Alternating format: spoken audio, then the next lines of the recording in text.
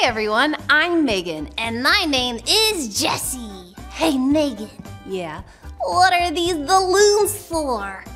Well, those are for my friend Brittany. She's having a birthday party today, and I'm in charge of bringing the balloons. I love birthday parties. The balloons, the games, the. You know the best part of that party, Megan? Tell me, Jessie. The cake! Especially if it is a double chocolate lava explosion cake. That cake would make it the best celebration ever. Ah, Jesse, did you know that in the Bible, the book of Revelation says that there will be a big celebration in heaven one day? Why will they be celebrating? Is it someone's birthday? Uh, it's better than her birthday, Jesse. Angels and people will celebrate and praise God because Jesus fought against evil and won. I want to go to that party. Am I invited, Megan? Everyone who believes in Jesus and trusts in him is invited to this party. Watch to learn more about this amazing celebration. John had a vision from God about what will happen when Jesus comes back. A vision is like a dream, but John was awake.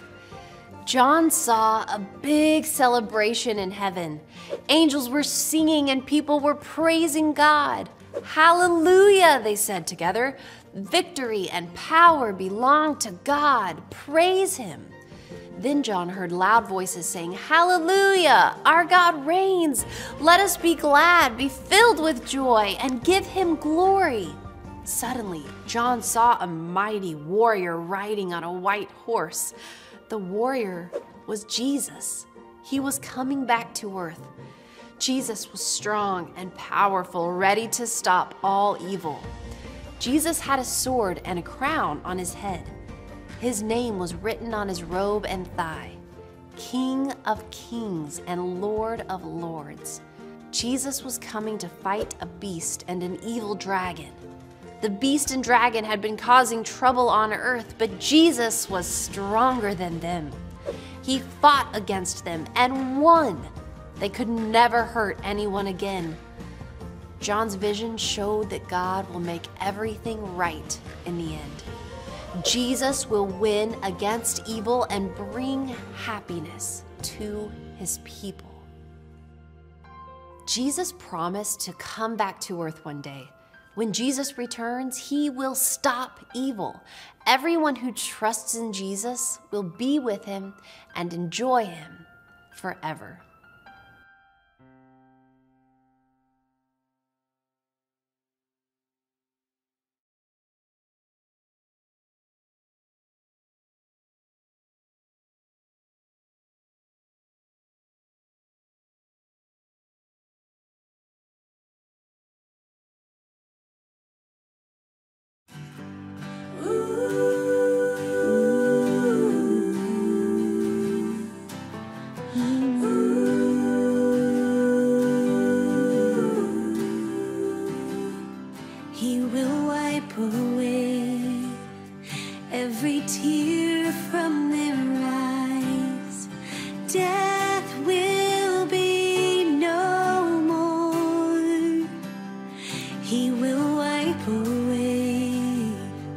Every tear from their eyes.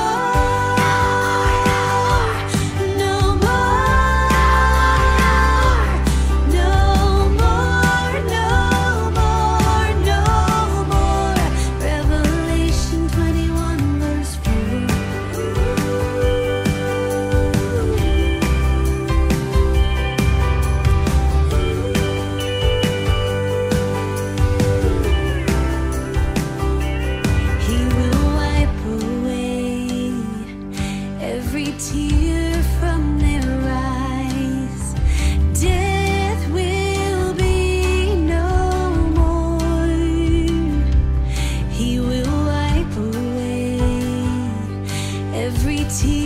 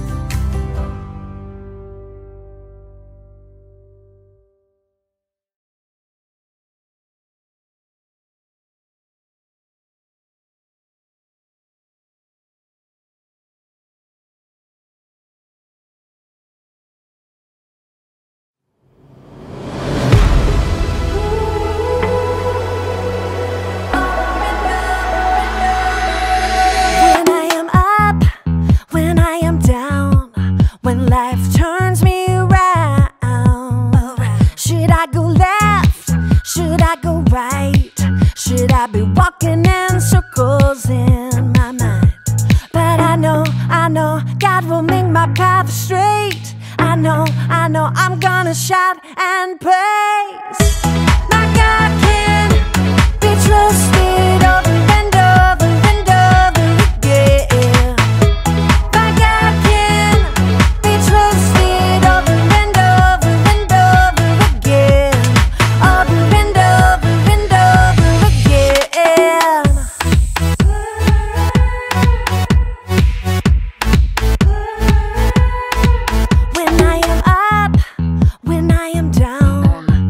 life turns me around, should I go left?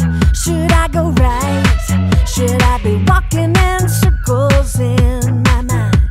But I know, I know, God will make my path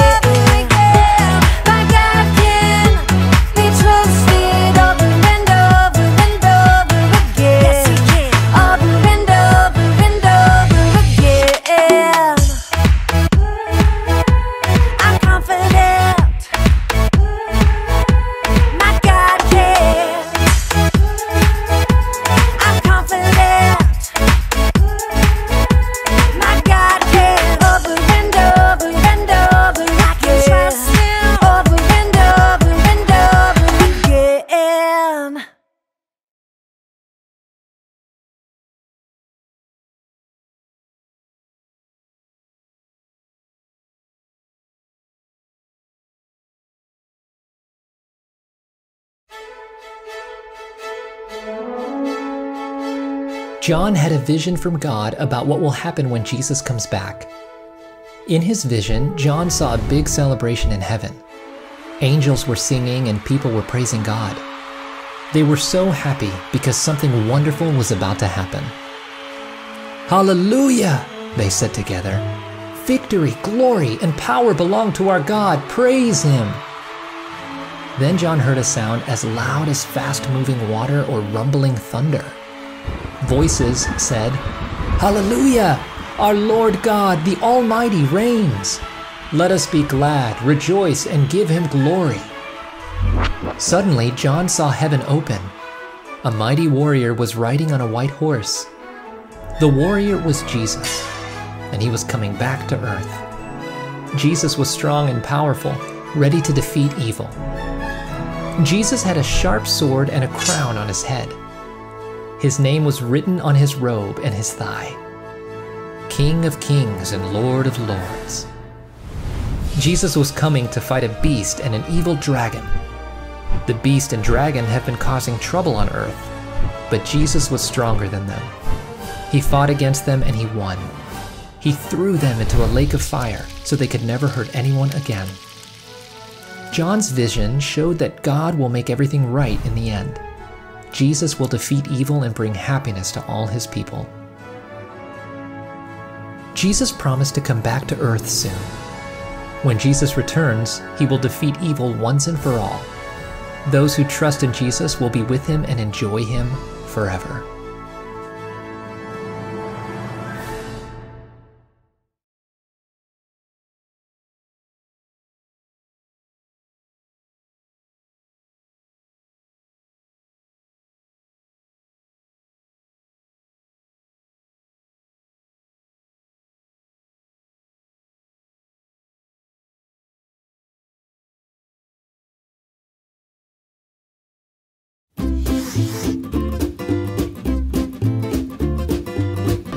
Hi there, I'm Pastor Kevin. It's time for questions from kids. Gracie from Bentonville, Arkansas asks, If God is all powerful, why hasn't he destroyed Satan? That is a magnificent question. First, let me say, I think it is great that you understand that God is all powerful. Remembering that will be good for you for the rest of your life. Now, why would an all powerful, holy, righteous, and just God not destroy Satan yet? Simply put, his timing is not like our timing. God has a perfect time to do everything. He shows us a little bit of this in the book of Ecclesiastes. There is a time to plant and a time to pluck up. What is planted? A time to kill and a time to heal. A time to break down and a time to build up. A time to weep and a time to laugh. There is a time for life and there's a time for death. There is even a time for him to destroy Satan. I love 2 Thessalonians 2 and 8. It says, And then the lawless one will be revealed. The Lord Jesus will destroy him with the breath of his mouth and will bring him to nothing at the appearance of his coming. Yes, in a single breath, Jesus will destroy him. What we have to make sure of is that when he destroys Satan and sends him to hell for eternal punishment, that we don't spend eternity separated from God. I hope, I hope and pray you will accept Jesus Christ as your Lord and Savior today and tell others about him too. Because the eternal punishment for the people who don't love God will be painful and for forever. Jesus will come again, just as he promised. How does this truth make you feel? I would love to hear from you. If you have a question, email me at gospelproject.kids at lifeway.com, and next time I might be answering a question from you.